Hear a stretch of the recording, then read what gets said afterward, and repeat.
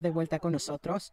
Hoy les daremos un consejo, algo de lo que pocas personas hablan y es la respiración. Disminuir el peso, guapa. Regresa a la normalidad.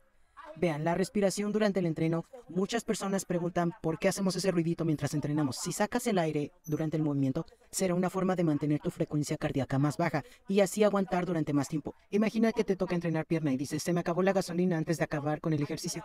Así que les daremos una sugerencia. Por fin ya regresaste a la vida. Le bajaré el peso para que entrenen y respiren correctamente. Bajo ninguna circunstancia tomen bocanadas de aire, saquen el aire durante el esfuerzo para contraer el músculo. Ahorita estamos en la hack, así que cuando ella esté subiendo hará shh. Y tranquilos, no es necesario hacer el ruido, pero sí saquen el aire. Ese es el punto clave. ¿Continuamos? Ay, amiga, venga, hagamos la demostración, está ligero.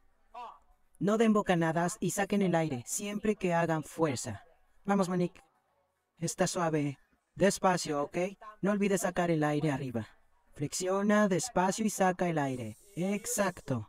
Otra vez, eso facilita mucho. Le ayuda a mantener la frecuencia cardíaca un poco más bajo y así realizar más esfuerzo durante más tiempo. Por eso es que hacemos ese ruidito, ¿verdad? ¿O me equivoco? Venga, Riseto, lindo. Una última y ya. Hemos terminado, hermosa. Y bien, ese fue nuestro consejo. Manda um beijo, Monique. Um beijo.